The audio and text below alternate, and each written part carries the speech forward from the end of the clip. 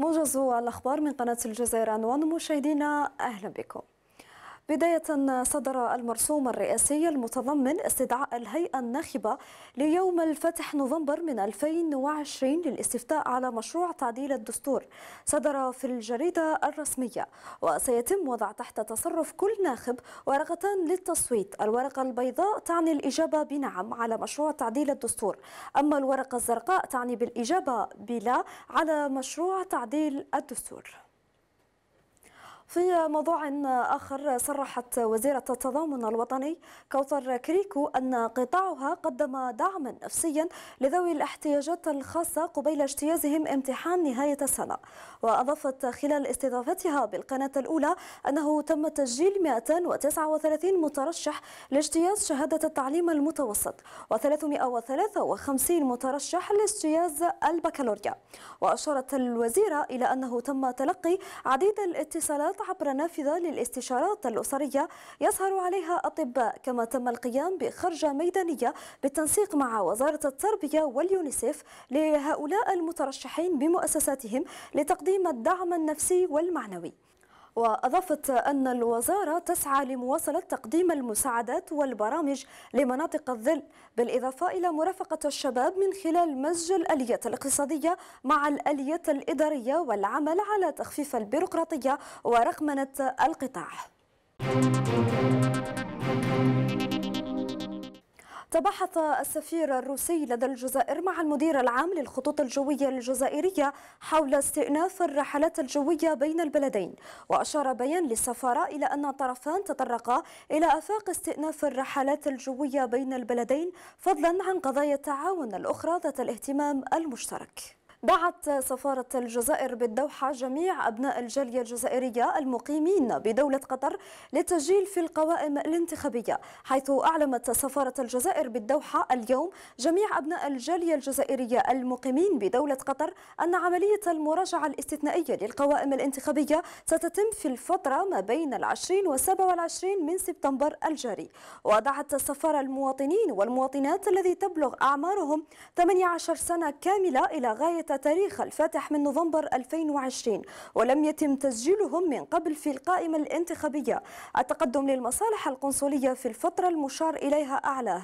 قصد إتمام هذه العملية حتى يتسنى لهم القيام بمواجبهم الانتخابي في الموعد المحدد. تم انطلاق أشغال الدورة العادية الثانية للسنة الجارية للمجلس الشعبي الولائي لولاية البليدة حيث تم التطرق إلى مدى تنفيذ توصيات المجلس وجودة الأعمال المنجزة والاهتمام بانشغالات المواطن والنهوض بالقطاعات الحساسة.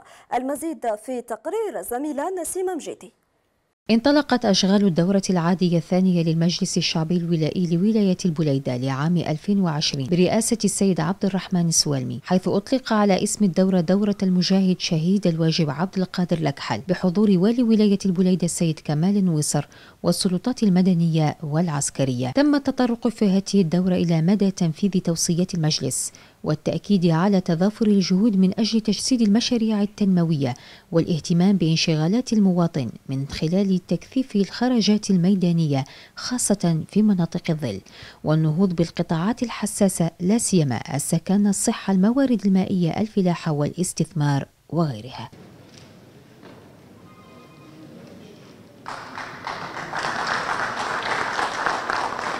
دراسة مدى تنفيذ توصيات المجلس الشعبي الولائي المصادق عليها من الاهتمامات الأولى لولايتنا بصفة عامة وفي إطار توجيهات السلطات العليا للدولة والمتعلقة بإحصاء والتكفل بالمناطق المهمشة والمحرومة وما أصطلح على تسميتها بمناطق الظل وكذلك التوصيات المنبثقة عن اجتماع الحكومة مع الولاة فإن انخراطنا في هذا التوجه وهذه الإرادة كمنتخبين جعل المجلس الشعبي الولائي بولاية البليدة يولي الاهتمام الأكبر لهذا الملف.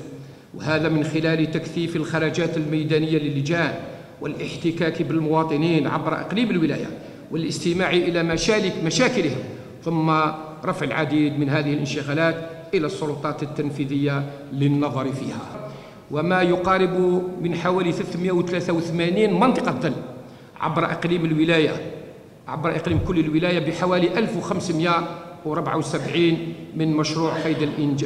من مشروع هم قيد قيد الإنجاز.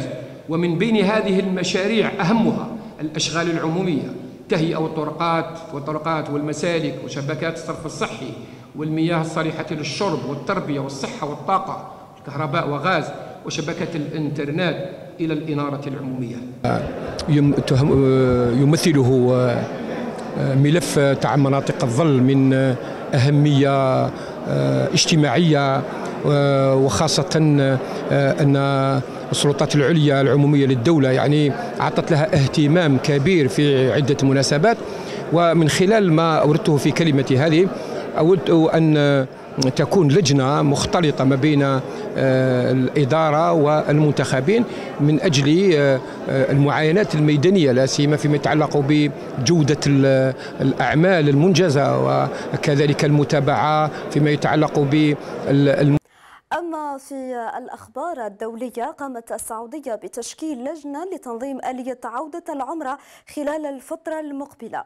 ونقلت جريدة الوطن السعودية عن مصادر أن اللجنة رفعت عدة مقترحات وتصورات للجهات العليا المعنية. وأضافت الجريدة أن اللجنة تتكون من أربع جهات حكومية وتضم كل من الوزارة من وزارة الحج قول والعمرة والصحة والرئاسة العامة لشؤون المسجد الحرام والمسجد المسجد النبوي والأمن العام ومن بين المقترحات المطروحة أن يتم البدء بعمرة الداخل وبعد ذلك بعمرة الخارج وأن تكون بأعداد محدودة ومواعيد ثابتة بالإضافة إلى تفويج مقنن مماثل وقريب من تفويج الحجاج بساعات وأوقات معينة.